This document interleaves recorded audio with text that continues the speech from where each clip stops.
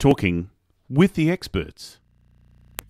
Helene and Simon Brolund explain why having deep and meaningful friendships as an entrepreneur is pivotal to your mental well-being and happiness. And we we can so easily get caught up in reaching the next goal and and that we forget that we need people along with us on the journey to mm. actually feel happiness. Yeah. So I think that's the first step is just saying, okay, where could I find little corners? Where could I find places where I could might take up friendships that I've already had? Because mm. that's a, that's the first step. It's just a mindset shift of, hey, this is important. I need to put this in my calendar. Yeah, for sure. And I think another thing as well is to understand what kind of friends you actually need. Mm-hmm. We hear so many people with good intentions saying stupid things like, well, if you want more friends, you just you should just get a hobby. It's like my business is my hobby, so Welcome to Talking with the Experts. This is where we discuss great ideas to take your business to the next level. How do we know these ideas work? Well, it's because we're talking with business owners who are using these ideas business owners who have years of experience and expertise. All things business by business owners for business owners.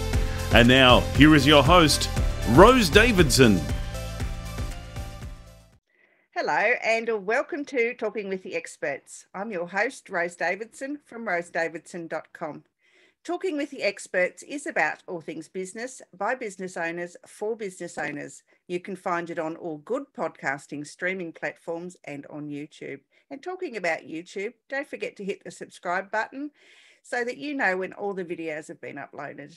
Today, my guests are Helene and Simon Brolund from Denmark. Mm-hmm. And we're going to be talking about friendships and Mm-hmm. Why having a deep and meaningful friendship as an entrepreneur is really pivotal, is really essential for our mental well-being and our happiness. And right. uh, Simon is a serial entrepreneur, tech savvy, yeah. and a trained teacher. And Helene is a certified coach and a Enneagram practitioner and she knows all about feelings. On top of that, they are experienced speakers and facilitators. So, without hmm. further ado, welcome Helene and Simon to Talking with the Experts. It's so great to have you here. Thank you. We yeah. are delighted to be here. Yeah, happy to be able to maybe share a little bit of uh, giving some gold nuggets into the inter- entrepreneurial world. Yeah, it's really important. I think it's now more than ever since you know the pandemic hit in 2020 i think um, you know entrepreneurs are doing it pretty tough um, hmm. you know before they could mm-hmm. i mean it, it's getting better now that you can go outside but you know you never used to be able to and i think a lot of them suffered a lot from um, mental trauma not trauma so well maybe trauma and you know mental um, illness and loneliness and depression mm-hmm. and all mm-hmm. those sorts of things mm. and not realizing that having a friend in business is really good for you mm-hmm. right, exactly. yeah it is a, as we see it we see a lot of entrepreneurs as well who are lonely and it's easy because you sit alone at home right mm. and you forget that we're we're created for community. Mm. we are a tribe species and we need to have people around us to support us. Mm. and also because a lot of entrepreneurs we, are the odd one out of the dinner table right? Yeah. Like yeah, we're the ones who are doing life yeah yeah exactly. We're the ones who do life different. So yeah. people can't always associate to what we experience to all this like the personal development that's connected with running your own business. Mm and you we can't carry that alone and we're not created to carry that alone no and it, it is really that interesting thing when people when people sit down and talk with an entrepreneur mm. if they mm. don't have the entrepreneurship themselves they'll often be either amazed that you want to do it or feel like you're a little bit of a superhero but they're never always they're never on the same level they're not really understanding mm-hmm. the drive behind it uh, and and and taking that risk of being an entrepreneur. Most entrepreneurs saying it's not a risk; it's what I have to do. and people who are not entrepreneurs will often say, "Well, that's a big risk." Well, yeah. And, and so there are some mindset things, and and that means it's often lonely being on the path of entrepreneurship. And and studies just show how important friendships are, and and so it's probably even more important in an entrepreneurial world to find the people that understand you that you're on the wavelength with not just as a business wise but also just people who get you outside of business and have that kind of connection with you. So that's why we believe in in this setting it's very important. Mm-hmm. yeah i totally agree with you. I think you know it, being an entrepreneur is a very lonely existence uh, and you're right, people don't understand us as well as they they might do. And um, yeah, we often find it that talking to ourselves is about the only friendship that we get. So how do we go about how do we go about finding these friends and, and creating mm. all these friendships? Yeah. I think first step is a mindset shift. It is realizing it is really important mm. so that we create space and time in our calendar to actually prioritize this mm. and see that it's important part of us thriving in business is not just running after a business because our business we are entrepreneurs ourselves it's our baby isn't mm. it and we we can so easily get caught up in reaching the next goal and and that we forget that we need people along with us on the journey to mm. actually feel happiness yeah. so i think that's the first step is just saying okay where could i find little corners where could i find places where i could might take up friendships that i've already had because mm. that's a that's the first step it's just a mindset shift of hey this is important i need to put this in my calendar yeah for sure and i think another thing as well is to understand what kind of friends you actually need. Mm-hmm. We hear so many people with good intentions saying stupid things like, well, if you want more friends, you just you should just get a hobby. It's like my business is my hobby. So and and on top of that, you just don't find like-hearted people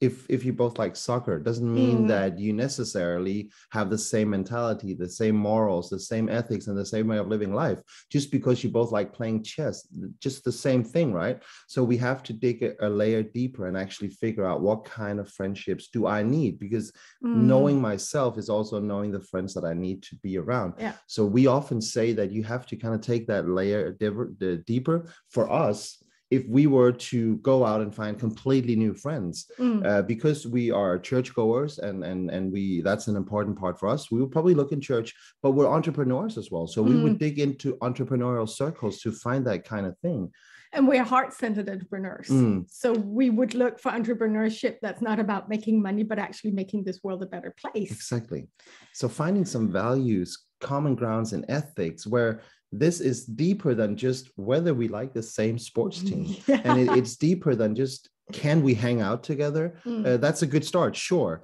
but for a friendship to be really deep we need to dig beyond that. And it's not just an age thing. It's not just an, an interest thing. It's deeper than that. And getting that mindset right is a big help in terms of finding the right people. Um, yeah. Yeah. And, and i think the last thing is creating though isn't it? Yes, I mean, we, we sort of learn as children how to make friends, but once we leave the corporate world and you know become this entrepreneur, I think you know making mm. friends or or finding that that skill that we used to have as children is a little bit different. Mm, very. Absolutely. We actually say it's five skills, and we have five skills that we talk a lot about. Mm. Um, and I think nobody teaches us how to build adult friendships. Mm and we we have kids and right. our nine-year-old the way he makes friends is nothing compared to how we we need to make friends as mm. adults and and but because we don't talk like you say we learn it in school mm. But we don't learn it as adults so we kind of have the same mindset that mm. friendships are just supposed to happen when we're around people right and then what's wrong with me when it doesn't happen mm. i know that's that's a situation i've been in mm. feeling that there's something wrong with me because it don't just happen. Right. And learning which skills we need to develop is just key, first of all, to realizing there's nothing wrong with you if Absolutely. you're finding it hard to build Absolutely. friendships. And I want to say that to right. anybody listening. Yeah. Because you are amazing. it's hard to foster friendships as an adult. It is. And adult it's, friendships is this mystery box. And I think it's definitely a mindset change and that mind shift change. And that's also why we say it's skill based, because mm. often when we go out and talk to people, we feel like we're actually uh, in, interacting in conversations. But oftentimes, when you look at conversations going on around new people, it's these small talk mm. small talk topics that are always the same. It's always the war in Ukraine, or it's it's always oh how tough was you uh, how tough was COVID, or or the weather, huh? Uh, so we never get beyond that and that actually mm. is scientifically proven that that does not build any kind of relationships Mm-mm. small talk has a, a a job to fill sure but for us to actually go into conversations that build friendships, that build community, that build those kind of relationships that you want, we have to go deeper than that. So it's a skill set of knowing how to listen. It's a skill set of knowing how to an- ask the right kind of questions. And people, when we have people in our program that realize that their minds are blown every time of how simple and how effective it is at the same time and how hard yeah because sure. it might be simple but it's not oh, it's a lot easy. of work yeah yeah, I think um, it would be a lot of work for people that aren't um, used to building adult type friendships. I think um, mm-hmm. you know in the workplace it's a little bit easier because you you know you're around those people all the time, and so you have mm-hmm. conversations mm. with them. But it you know as an entrepreneur that you know, who primarily works on their own, mm. I think you use that you know you lose that that skill of you know creating friendships so what are yeah. your five key steps then yeah first one is become a listener and mm. as we say you may know how to use you have ears but it doesn't mean you know how to listen so mm. the first part is actually digging into what it is to listen good questions good conversations and the yeah. second one is how to build trust because mm. we all know what trust feels like when it's there when it's not there we can feel it in our nerve system right but how do we actually do it how do we focus on honing in on the skill of building trust. Is is a mystery to most of us if we don't focus on it. Yeah. The third one we call identifying your inner language. And it's uh, understanding actually understanding your inner language is that you actually start to put yourself into play. Often when you mm. go out and new, meet new people you will start with a question so like what do you do? And to be yeah. honest it doesn't matter at all. It mm-hmm. has nothing to do with you literally it's so uninteresting. But what is interesting instead would be what makes you smile. Mm. what would make you lie down on your pillow at night and feel like i had a great day. See that's a question where you actually go to the root of a person instead of just whether you are a ceo or a bus driver. I'm sorry it doesn't say a lot about you but we don't have a vocabulary for it. So mm. most people wouldn't know what to do I've actually started a lot of conversations saying, can we agree on not saying what we do for a living and try that experiment out? And after mm. an hour or two, people be like, man, I've never had a conversation like that just because it was so new territory. And, mm. and we, mm. we use, as you said in the beginning, we use the Enneagram to, to help people understand themselves, which is a mm. personality mm. profiling system where we help people understand who they are and, and put that into mm. language. Yeah. Um, so that's our third pillar. Yeah. It's just we feel it's such an important point that you can only connect as deeply with others as mm. you connect with yourself. Yeah. So you if you want deep, fulfilling, strong friendships, you have to look yourself in the eye and know who you are. Right. It can only can't only be about what you do. Mm. Then the fourth one is actually the ability to friendship date to make a plan it is a thing and to and you talk when we talked about where to find the right friends we talked about what are your values we also talk about creating rhythms around this mm. we go into creating good habits because even in our our world just goes by it happens for all of us whether we're in corporate or entrepreneurial our time just flies doesn't it so having these habits around how do we spend time with friends or where do we meet new friends mm. on a hmm. weekly basis is just so important but also meeting new people, mm. seeing how it goes, practice listening, practice building trust, evaluating do I want this? Don't I want this? Mm. And actively pursuing this. And this is where it's we get very one. This yeah. is where we get very practical. It's a very practical skill. because we understand that so often we we like as human beings to stay in the theory. it, it's almost like it watching it's like watching sports online and believing that you would know how to do it in, in, in, in, practice. But you don't. Just if you're sitting on the sofa watching the TV, you can't throw a ball. Mm. Um, so so having that mindset as well when you go out and you actually have to practice this and mm. this is also where it becomes vulnerable and that's why we actually yeah. put a lot of focus on the fourth step of us supporting and challenging in the good way of helping when it comes to building these friendships and actually going out and trying them out and mm. and that's a key part of it actually for us to to support in that sen- uh, in that um, yeah. s- season as well And, and so fifth. fifth, fifth is about identifying your differences. Yeah. It's about figuring out how different we are as people. We're very different. We're very different. Just the two of us, we use the tools a lot as well mm. as best friends in a marriage. Oh yeah. but just because we can't go deep with people if we think that everybody is like us. No. And naturally we tend to do that, but it creates misunderstanding, it creates conflict. Mm. So we can only really connect with people if we understand where they're coming from and have a language around that. Hmm. We talk a lot about language actually, because if you can't put words to it, you can't work with it. Right. You can't communicate it. Hmm. And so often we let things be be a guesswork because we don't have language around it. Hmm. So we need more language around friendships, about how to build them, but also about how different we are as people. Exactly. So, what yeah. kind of language, uh, you know, would would one use or uh, or learn to be able to foster these friendships. Yeah. So when we say language, it's not like English, Danish, British. no, no, no. Um, the vocabulary more than yeah. yeah, yeah. It's it's we use the enneagram uh, where we we we start to help people to understand the the the inner workings and and putting that into words and and that is in terms of how do I get vulnerable enough to open up to people? How do I put myself enough into play? We mm. we we often say the whole thing about opening up. If if if you're coming into a conversation with a mask on people will fall in love with the mask and not with you. But often people wouldn't know how to take that mask off. And that's again into do i actually know myself? Do i know what i like and what i dislike mm. when it really comes to it?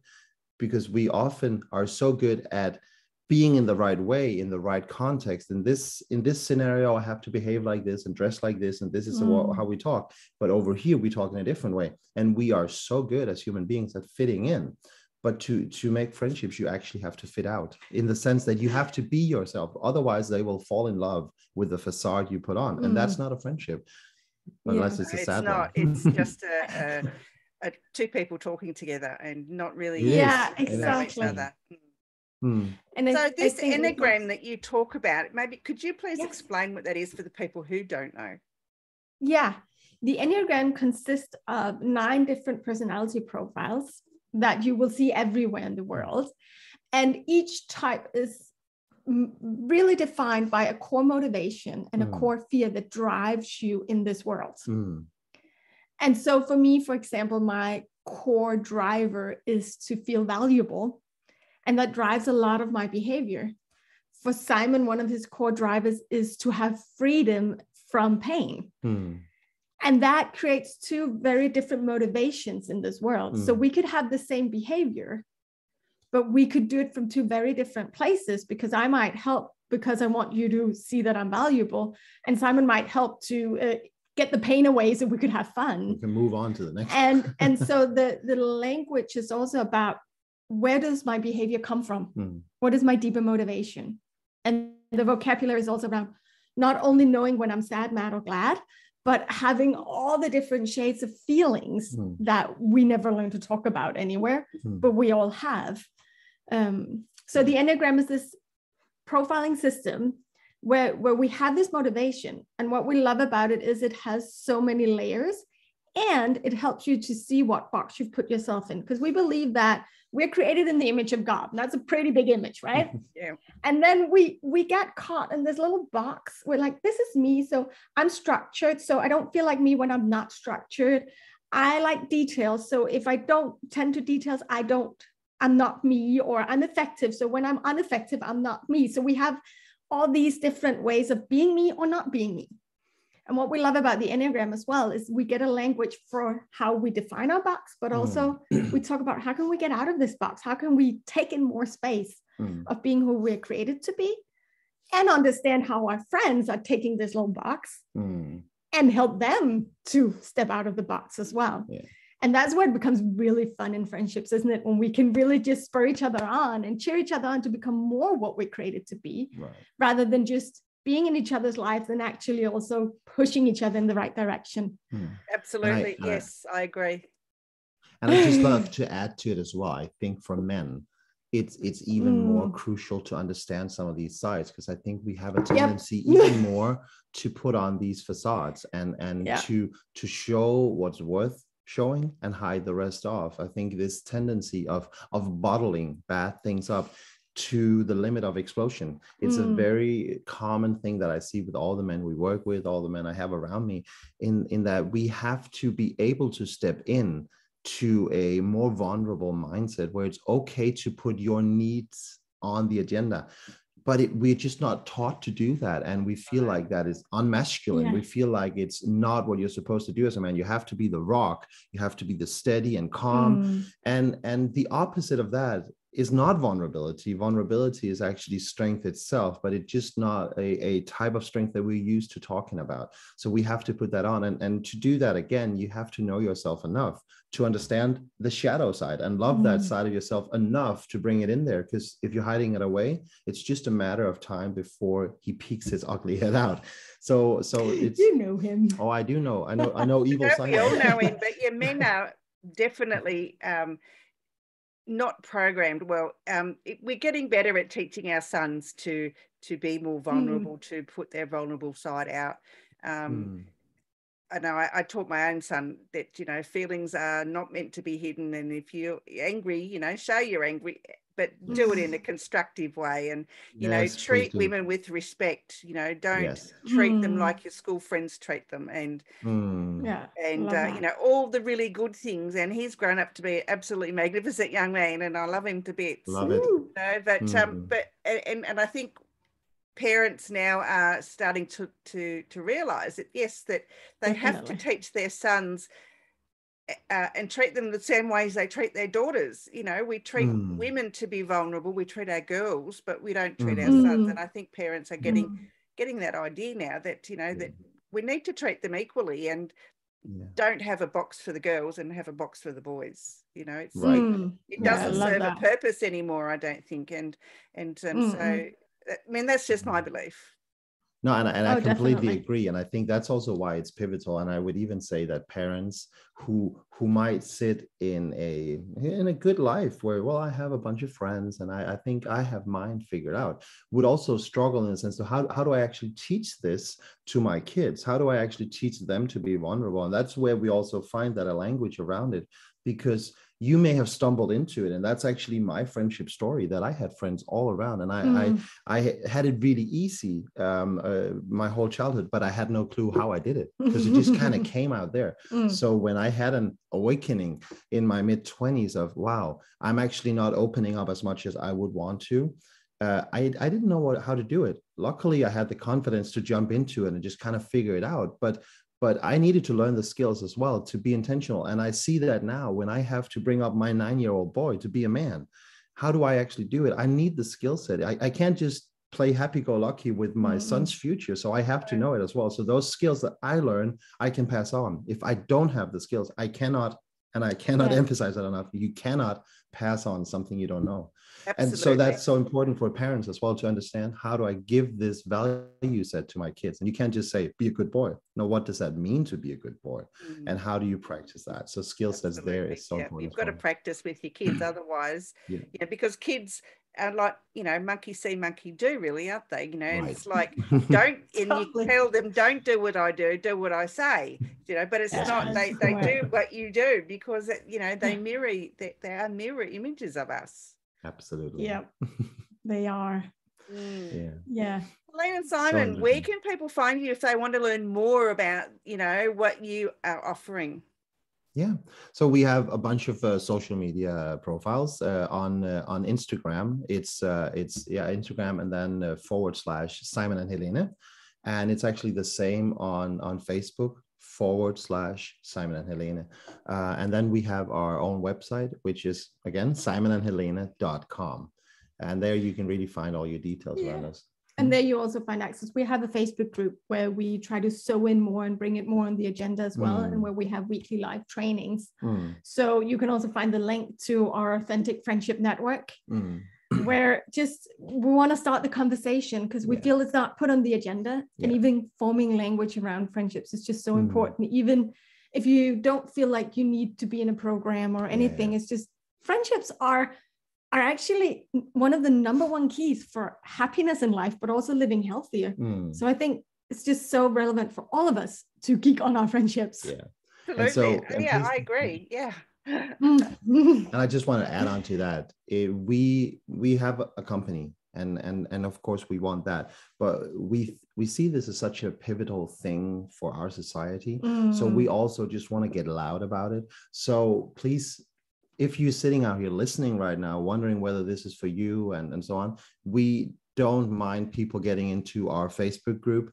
who don't think they should we be our customers. we actually just want to get loud, and because yeah. we think it's so important, we're so passionate about it. This is why this is what we've built a life around. So mm. come on in and geek on it uh, uh, together with us as well. If, if you're a professional in this area, come on in because yeah. we can only get better and louder together. So so we would love to just build that community up and it's not about having clients it's about getting loud as well. So yeah. Yeah well all Join the links will be shared in the show notes so it, anyone Thank will you. be able to to click onto them and and get mm. access to to your friendship uh, friendship facebook page.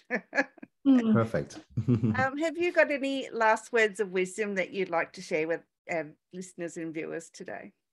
Yeah we have this this funny saying that build in your strong season what you want in your weak season. Mm. and and we kind of translate that into friendships as well. Yeah so focus on your friendships before you need them. Mm. just the wisdom focus on your friendships always. Yes. Yeah and that would be if anybody could take anything away from that just focus on your friendships always. Right. Build so into that yeah. Because that is going to make a difference for you. Yeah. And and and you're quite right. We are a, we are a tribal um, society and uh, and mm. we've seemed to have lost that a little bit the pandemic. Has yeah. you know really cut right into that. And uh, we need to build that back up again because um, you know it's all very nice to have you know face to face zoom calls or whatever but it's not quite the same as the human interaction you know where you can actually touch feel and and taste and all those. No. Absolutely, absolutely. Yeah. I have had such a wonderful um, experience talking with you both tonight. Thank you so much Likewise. for giving up your time. It's been an absolute pleasure. Thank love you. Likewise, that. we love being here with you. Thank you for what you're sowing into the entrepreneurial world because oh, yeah. it's so important that you bring these conversations on the agenda. Yeah. Oh, so thank, thank you. you for pouring into that. Thank you. Thank you very much. You've been listening to Talking with the Experts, hosted by Rose Davidson. Make sure you have a look at our back catalogue over at talkingwiththeexperts.com and be sure to subscribe to our podcast so you don't miss out on any episode. We look forward to your company next time.